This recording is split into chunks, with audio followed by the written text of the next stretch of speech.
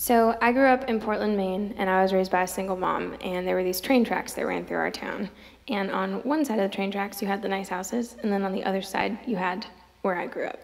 And we didn't have a whole lot, and I always remember my mom and I driving after church and going to look at the big houses on the nice side of town and thinking about what it would be like to live in one one day. And as I've gotten older, I've realized that you can fit just as much love in a little two bedroom apartment as you can in a big old mansion. And I actually got to play this one on the Grand Ole Opry quite a few times. And that's sort of how it came about being on the album was, you know, playing it at the Opry, testing it out and getting, you know, a lot of really great stories from other people who had grown up like I did. So it really was a was a big step in making this album and just being honest and vulnerable. So this one's about my mom and it's called Big Houses.